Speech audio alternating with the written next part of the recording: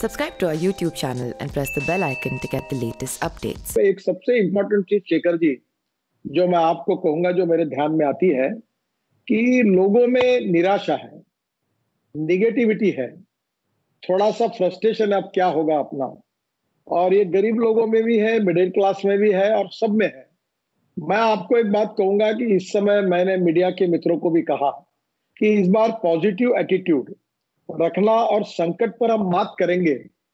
हम होंगे कामयाब, हम जीतेंगे और इस संकट से बाहर आएँगे। इस प्रकार का आत्मविश्वास सब लोगों में निर्माण करने की आवश्यकता है। और इसलिए मैं जब जब भी मिलता हूँ तो लोग बहुत ही डरे हुए और निराश है।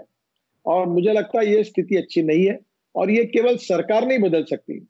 सरकार हो, मीडिया हो, साधु संत हो, मुल्ला मौलवी हो, इन सब लोगों ने इस समय पत्रकार हो और बुद्धिजीवी हो, सबने मिलकर इस संकट में सबका, सबकी पॉजिटिविटी को बढ़ाना, आत्मविश्वास को बढ़ाना निगेटिविटी को समाप्त करना और इस संकट पर मात करेंगे, ये आत्मविश्वास निर्माण करना। तो मैं बहुत बार मेरे इसमें वो गाना लोगों को बताता हूँ, हम होंगे कामयाब।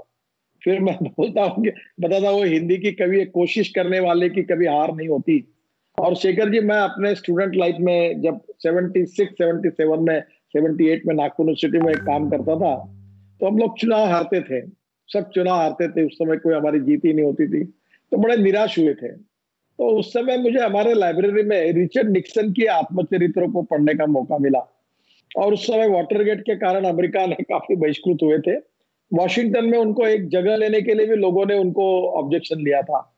और उस समय उन्होंने वो जीवनी लिखी है और उसमें एक सुंदर वाक्य था। वाक्य ये था कि the man is not finish when is defeated but he is finish when he quits युद्ध भूमि पर हारने के बाद कोई समाप्त नहीं होता। जब युद्ध भूमि छोड़कर भाग जाता है तो समाप्त होता है। मुझे लगता है ये लड़ने का स्पिरिट अभी सबने देना चाहिए।